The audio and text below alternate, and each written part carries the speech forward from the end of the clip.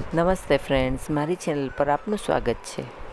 આજે આપણે બટેટાની ફરાળી સૂકી ભાજી બનાવીશું. બટેટાની ફરાળી સૂકી ભાજી બનાવવા માટે જોઈશે બે બટેટા, અડધી ચમચી હળદર પાવડર, મીઠું સ્વાદ પ્રમાણે, એક લીલી મરચી ઝીણી સમારેલી, અડધી ચમચી લીંબુ રસ, થોડા મીઠા લીમડાના પાન બેથી ત્રણ ચમચી ખાંડ, બે ચમચી લાલ મરચાં પાવડર થોડી સુધારેલી કોથમીર, બટેટાની ખટમીઠી ફરાળી સૂકી ભાજી બનાવવા માટે સૌ પહેલાં બટેટાને બાફી લઈશું.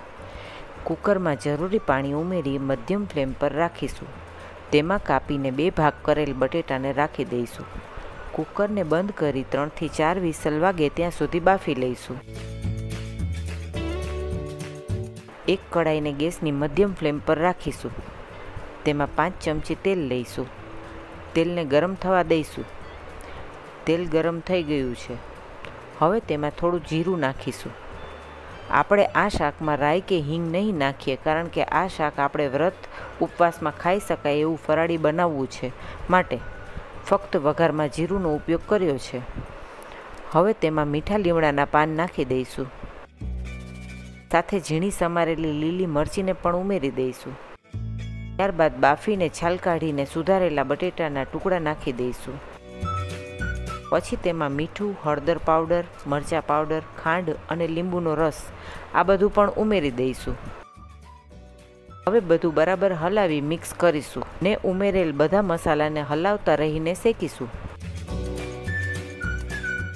મસાલો ખૂબ સરસ શેકાઈને મિક્સ થઈ ગયો છે. હવે ગેસ બંધ કરી કોથમીરને પણ ઉમેરી દઈશું અને બધું બરાબર મિક્સ કરી લઈશું. આપ આ ખટ મીઠું શાક, રાજગરાના થેપલા, પરોઠા, પૂરી સાથે પણ વ્રતમાં ખાઈ શકો છો. જુઓ, આપણી ખટમીઠી ફરાળી બટેટાની સૂકી ભાજી બનીને તૈયાર છે. તમને મારી આ રેસીપી પસંદ આવી હોય તો મારા આ વિડીયોને લાઇક કમેન્ટ અને શેર કરવાનું ના ભૂલશો. મારી આ ચેનલને સબસ્ક્રાઈબ જરૂરથી કરશો. ચેનલના નામની બાજુમાં આવેલ બેલ આઇકન ક્લિક કરી ઓલ સિલેક્ટ કરવું, જેથી તમને મારા નવા વિડીયોના નોટિફિકેશન મળતા રહે. Thank you.